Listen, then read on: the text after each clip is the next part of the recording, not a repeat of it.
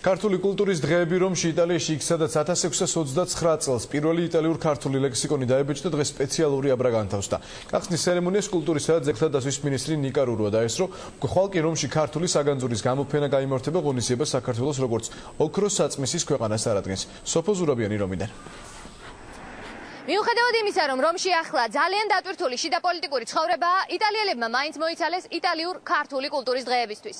და იგი დღეს ამ პატარა ქუჩაზე, აი ამ დაფით გაიხსნა, რომელიც იუწყება, რომ 1629 წელს პირველი ქართული წიგნი გახდათ იტალიურ ქართული ლექსიკონი, რომელიც ამ შენობაში, ამ გამომცემლობაში დაიბეჭდა.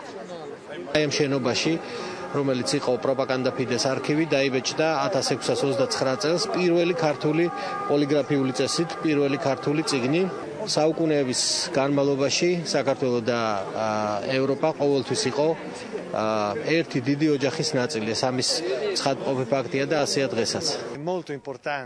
დღეს შესანიშნავი ფაქტის მომსწრენი ვართ. პოლიგლოტური ტენდენციებით ცნობილ რომის უძველეს გამომცემლობაში მე-17 საუკუნის დასაწყისში პირველი სწორედ ქართული წიგნი, იტალიურ ქართული ლექსიკონი დაიბეჭდა. ეს მარმარილოს დაფა კი ამ ისტორიას აცოცხლებს. დიდი ხანი დაგჭირდა წელიწადნახევარი დაახლოებით ბრძოლა, ორნამეს მივახციეთ, ერთი რომ აღარ წერია საბჭოთა კავშირიზეთ. ის რაც წარწერაზე იყო და მეორე ისომ ქართული წარწერა. ეს არის პირველი ქართული წარწერა, რომელსაც ნახავთ ასე ღიეთ რომში. non aggiungo tantissimo perché poi parlo რომაელებსა და ქართველებს შორის განსაკუთრებული ურთიერთობა იყო ჯერ კიდევ დიდი ხნის წინ.